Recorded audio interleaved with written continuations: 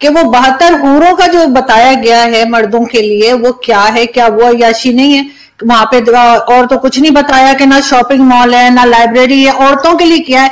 For example मैं बहुत अच्छे काम करती हूँ, सारे इस्लाम के रूल फॉलो करती हूँ, मैं जन्नत में जाऊँगी, मुझे वहाँ क्या मिलेगा? आज का हमारा आठवां सवाल है, जन्नत में मर्द को हूर मिलेगी तो औरत को क्या मिलेगा? आइए इसका जवाब देखते हैं कुरान और हदीस की रोशनी में। अगर आप पढ़ेंगे सूर्य रहमान सूर्य नंबर पचपन की आयत नंबर बहत्तर और सूर्य वाक़ सूर्य नंबर छप्पन की आयत नंबर बाईस में हूर का ज़िक्र किया, जो जन्नत में मर्द को दी जाएगी।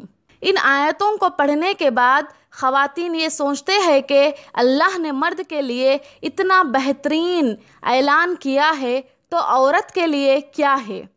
अगर आप पढ़ेंगे सुर निसा सुर नंबर चार की आयत नंबर चालीस इन ज़र्रतियों बेशक अल्लाह सुबहान व बराबर भी ना इंसाफ नहीं है। जिस तरह इंसानी फितरत दुनिया में है, वही फितरत जन्नत में भी होगी और वही फितरत के मुताबिक मर्द को एक से ज़्यादा बीवियाँ और सत्तर से ज़्यादा हुरे जन्नत में मिलेगी और फितरत के मुताबिक औरत को दुनियावी शोहर ही मिलेगा।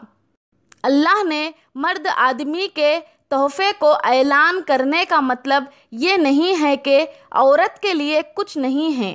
हो सकता है अल्लाह ने हमें बिना ऐलान किए ही मर्द के तोहफे से बेहतरीन तोहफ़ा हमारे लिए रखा है, क्योंकि अल्लाह ने सुर निसा सुर नंबर चार की आयत नंबर 124 में फरमाते हैं, मर्द और औरत को बराबर अजर देने का ज़िक्र किया है। जजाकल्ला खैर।